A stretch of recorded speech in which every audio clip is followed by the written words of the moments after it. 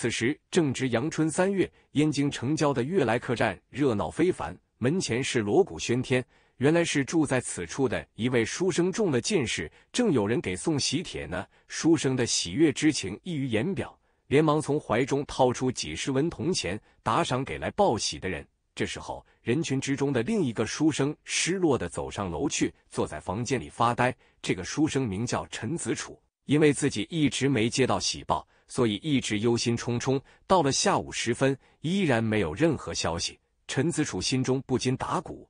看来自己是落榜了，门吱呀一声响了，走进来一个身材窈窕的女子。那女子面带纱巾，露出一双水潭般的眸子。这女子名叫暮雪，是客栈老板的女儿。陈公子，你怎么了？暮雪开口问道。到了现在这个时候，我还没接到喜报，那肯定是落榜了，枉我一番苦读啊！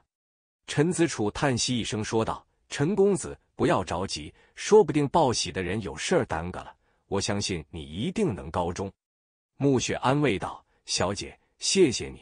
如果我真能高中，马上就向你爹提亲。”陈子楚说道：“陈公子，我小的时候因为火灾毁了容，难道你不嫌弃我丑陋？”暮雪说完，摘下了面纱，一张布满疤痕的脸呈现在陈子楚面前。小姐。只要你我情投意合，这容貌又算得了什么？我不嫌弃。”陈子楚深情的说道。突然，陈子楚拨开众人，来到刘老板跟前，扑通一声跪在地上，说道：“刘老板，我今天在此向您提亲，愿意迎娶小姐为妻。如若没有您父女俩，就没有我陈子楚的今日。”原来，自从陈子楚来到京城，就住进了悦来客栈。因为路上感染了风寒，所以一病不起。很快，身上带的银钱花光了，风寒不但没治好，而且欠了多日的住店钱。刘老板见他可怜，不但没有赶他走，并且还借给了他一些银子，让陈子楚赶紧治病。在陈子楚病重期间，暮雪给了他无微不至的关怀。在暮雪的精心照顾下，陈子楚的身体得以好转，才没有耽误考试。第二日。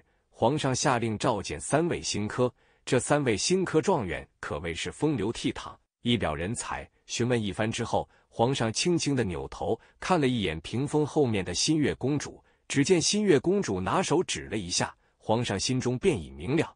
原来皇上召见新科状元，就是为了给公主选一个夫婿。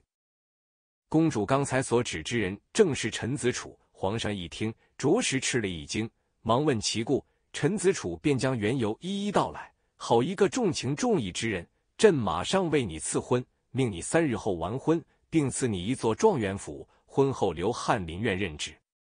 皇上龙颜大悦，高声说道：“多谢皇上，吾皇万岁万岁万万岁！”陈子楚赶紧叩头谢恩。等到三位新科状元退下之后，新月公主从屏风后面冲出来，撒娇的说道：“父皇，他是我看上的驸马。”你为何还要给他赐婚？人家有婚约在先，我们不能硬拆他人的姻缘。再说，天下好男人多的是，父皇一定给你找一个中意的。”皇上说道。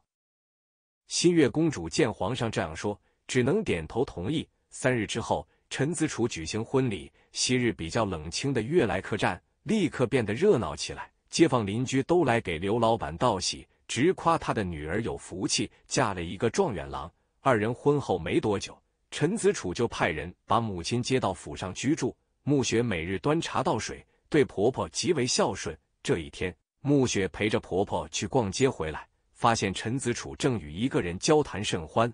那人见婆媳两个进来，于是起身告辞。在那人转身的瞬间，婆婆刘氏看清了那人的脸，不禁怒火中烧。那人也注意到了刘氏的变化，急忙离去了。子楚。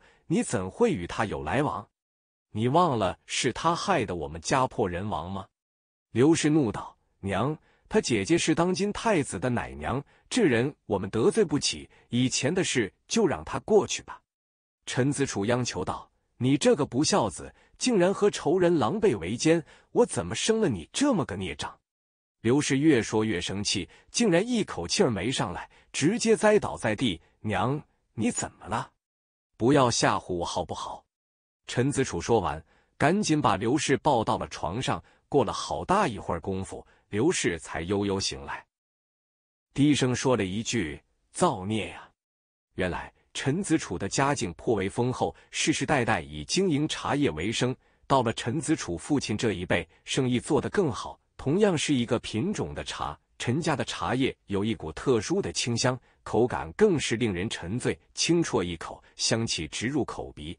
即使陈家的茶比其他茶庄贵一点，但依旧供不应求。几年功夫下来，陈家就成了当地有名的富豪。这一日，茶庄来了一个客人，说自己有一批抵债的茶叶想卖给茶庄。陈子楚的父亲通过查验，发现这些茶叶品质不错，而且价格也比较合理，于是就买下了这些茶叶。谁料第二日一早，官兵直接冲入了茶庄。原来陈家所买的茶叶正是吴家茶庄给宫中采购的茶叶，半夜被盗贼给偷走了。如今人赃俱获，他们直接把陈父抓住了大牢。盗窃给宫中的物品可是死罪，但陈父拒不认罪，被用了重刑。没想到死在了大牢中。事后，陈家就被抄了家，财物全部没收充公。陈母刘氏经受不住这个打击，卧病在床。一夜之间，陈子楚仿佛长大了许多。他在心中暗暗发誓，一定要专心苦读，将来考取功名，为父伸冤。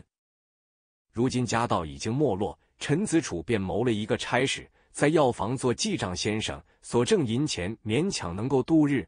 还得从口粮中省下钱来给母亲治病。后来，陈子楚无意间知道了一个秘密：原来这一切都是吴家茶庄的老板的圈套。他设计栽赃陈父，就是想夺取陈家的一件宝贝。陈家的茶叶之所以幽香绵绵，就是因为家中的这个宝贝，那就是茶虫。后来，陈子楚高中状元的事传到了家乡，吴老板立刻变得惊恐不已，他怕陈子楚会告御状。于是又想到了一个妙计，时间不长，吴老板就来到了京城，带了大量的黄金求见陈子楚，拍马屁的话说了一大堆，然后又和陈子楚透露，他姐姐乃是当今太子的奶妈，来了一个恩威并重。他料想陈子楚如果聪明的话，肯定不会葬送自己的前途。果然，陈子楚收下黄金之后，便答应和吴老板化干戈为玉帛，过去的事情不再追究。陈母刘氏再也忍受不了儿子的做法，